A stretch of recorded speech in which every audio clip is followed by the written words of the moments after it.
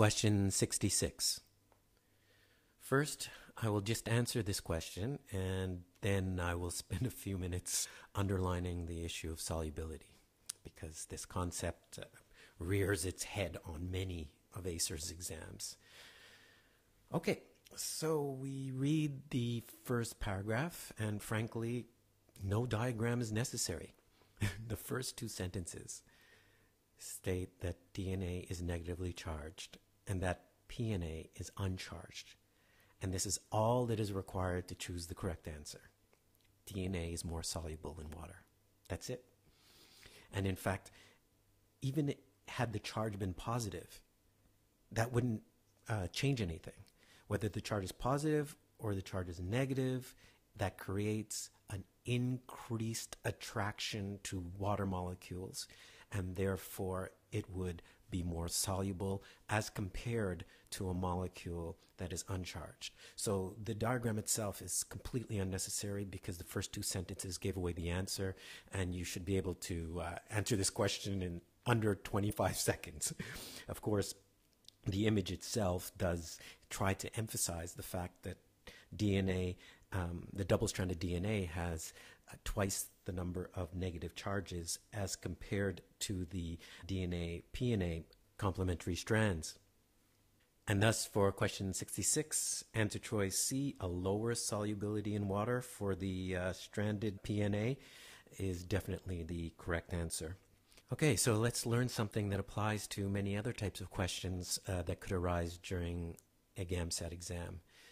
Uh, of course, we've already talked about solubility in this exam. It comes up on all exams, uh, or usually comes up on uh, on most exams. So solubility is giving us some information about the extent that one thing, uh, that's the solute, and the solute can be a gas, a liquid, or a solid, the extent that one thing dissolves in another, and that other is the solvent.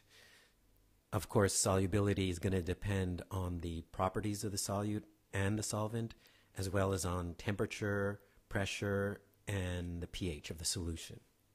Some molecules are infinitely soluble, so there's no limit on how much one can dissolve in the other. It could also be said fully miscible and an example of that would be uh, ethanol or ethyl alcohol, which of course is colloquially just called alcohol. Um, when dissolved in water, is considered to be fully miscible.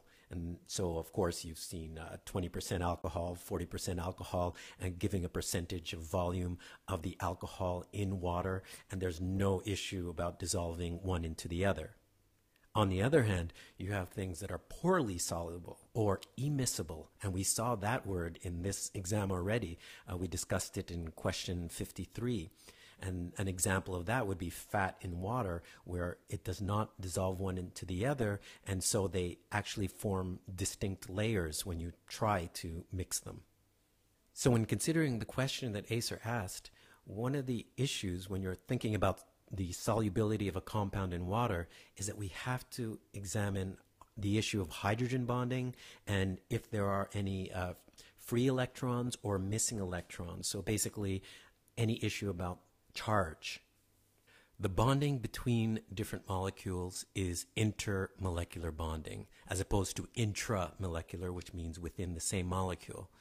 So now, intermolecular bonding is so important and the reason is if there was no intermolecular bonding, then all molecules would just be gases and then we'd be dead. So, okay, when you look at this diagram, you see that the force is increasing. This is the strength of the attraction between different molecules. And that's starting off very low and it's ending up very large. And this is hydrogen bonding. It is a very powerful type of intermolecular bonding and no one does it better than water. You see the efficiency. You see that each water molecule can actually hydrogen bond four times. Now, please notice this bond between oxygen and hydrogen, this bond here, that's a covalent bond. That's not hydrogen bonding. Hydrogen bonding is between separate molecules. It is a consequence of the uneven sharing of electrons in the covalent bond. So oxygen being to the right in the periodic table is more electronegative, so it pulls on the electrons more, and hydrogen is more to the left, so it's more electropositive. And it's that differential charge that means that each atom is going to be attracted to an atom in another molecule of opposite charge. And so opposites attract and like charges repel. Hydrogen can do so when it's bonded to oxygen, nitrogen, and fluorine. Some students like to remember FON, F O N. And in the DNA molecule you were given in question 66, this is relevant because of oxygen's presence and also because of the presence of nitrogen. And you can see some of the other molecules that can hydrogen bond, including alcohols giving a reason for alcohols to be miscible in water. Whereas in question 66, PNA would be able to dissolve in water because of some delta positive hydrogens and delta negatives, nitrogens and, and oxygens. So it can dissolve in water. But if the charge is greater, whether it be positive or negative, then you will have an increased force of attraction between opposite charges. The diagram also shows dipole-dipole forces, and this is also due to an unequal sharing of electrons in a covalent bond. So here between hydrogen and chlorine, because chlorine is more electronegative. But because chlorine is not as electronegative as oxygen, nitrogen, and fluorine, these bonding between different molecules are not called hydrogen bonds because they are not as strong um, you know, water can go all the way up to 100 degrees Celsius before you can break this and then turn it into gas. So that's a tremendous how how how much energy has to be given to water, and of course that permits the existence of, of life. Whereas so many other molecules of the same size as water in terms of molecular weight are actually gases at room temperature, including uh, methane, which is a, a gas at room temperature because it doesn't have those intermolecular forces to hold it together in the liquid phase. And speaking of which, we have finally the London forces or van der Waals forces, which are very, very, very weak intermolecular forces. They are caused by temporary, short lived dipoles, meaning separation of charge. So notice that this occurs also in alkanes. Methane is here, ethane is here, and so alkanes in general. And this sometimes comes up on, on GAMSAT because if you have long chain alkanes, they can pack together nicely and interact more with these London forces, and so they're relatively harder to boil than alkanes that have branches, which can disrupt the normal packing or stacking of the molecules. And so the boiling point becomes lower because there's fewer intermolecular interactions, and so the conversion to gas is easier when there's branching. I also just wanted to remind you of Coulomb's law and how the force between charges that we see here is directly equal to a constant Q1, Q2. That's the amount of each charge. So it's directly related to the amount of each charge.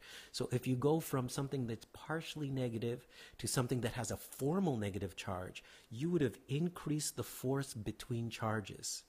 And of course, it's inversely uh, related to the distance between the charges squared. So this is a famous inverse square law, just like Newton's law of gravity, where the gravitational force is equal to a constant m1, m2, the two masses involved, divided by r squared, the distance between the center of masses of the two masses. So I just wanted to show you Coulomb's law again as a reminder that the amount of charge is directly related to the force of attraction between different molecules. And finally, here's your bonus question. So this is a question from one of our gold standard GAMSAT courses. So you can take a minute, pause, and consider your response. Then we'll talk about that and we'll talk about the DNA structure.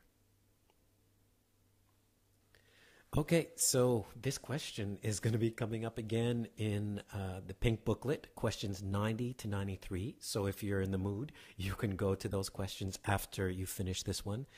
And uh, I want you to notice a few things in particular. Of course, adenine binds to thymine with two hydrogen bonds. Guanine binds to cytosine with three hydrogen bonds. And so it's a classic question um, in biomed uh, to ask about the stability of DNA uh, when there is more G to C bonding. So if you have a greater proportion of the molecule that has G and C, uh, which is guanine and cytosine, that means uh, the molecule will be more stable because the rate of hydrogen bonding will increase.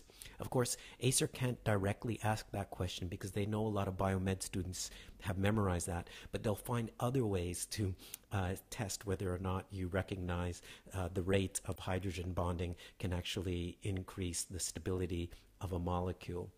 The other things uh, you might want to notice about this is the anti-parallel nature of the binding because this comes up in in uh, pink uh, booklet questions 90 to 93 and so you see that one goes from 5 prime to 3 prime the other one goes from 3 prime to 5 prime. So it's not exactly parallel. If they were both oriented in the same direction that would be parallel. So it's anti-parallel. So they're sort of parallel but moving in opposite directions. And in terms of the 3 prime 5 prime you can see that for this sugar here, which is ribose, you could, deoxyribose, uh, you can see that nitrogen is bonded to one carbon here. That's carbon one, carbon two, carbon three. So this is three prime carbon. Carbon three, carbon four, carbon five, which is this elbow here, carbon five. So that's the five prime uh, phosphate group. So that's why this is on the five prime side of the uh, deoxyribose, and this is on the 3' prime side. And finally, when we're talking about normal uh, pH and DNA denaturing, which denature means not the natural state. And so right now we're looking at the natural state. So when um, hydrogen bonds are broken, for example, because of temperature or pH, for example, then that could denature a protein or DNA molecule or anything such as that. So the question is asking about raising the pH. So right away, you should have it very clear in your mind. Low pH means high hydrogen ion concentration, means you will have the protonated form of whatever it is. At a high pH, you have the deprotonated form. And that means, uh, of course, protons are being removed because it's a more basic environment. And so the idea of uh, answer choice B or answer choice D is not to be considered because this is uh, something that you would be thinking about when the pH is very low. That's when you get protons adding or binding. So we want to see protons dissociating. Answer choice A tells us protons dissociating from the phosphate groups, but there are no protons uh, bond to the phosphate group. And not to mention, even if that had been the case, which is not, because we could see it plainly right in front of us, um, then it's still part of the backbone. It's not what's holding the DNA strands together. So, anyway, it's very clear that if protons dissociate, you know, for example, from the guanine bases, and therefore you don't have that delta positive hydrogen that can hydrogen bond with something that is delta negative on the other side, like oxygen or nitrogen on the other side. That would disrupt the hydrogen bonding pattern, and the molecule will no longer be in its natural state. It will be denatured. So, for question number 25, the answer is C. And from the book, you can read uh, about hydrogen bonding and other intermolecular bonding in Chemistry 4.2, Organic Chemistry 12.5 for phosphates and DNA, and Biology 1.2.2.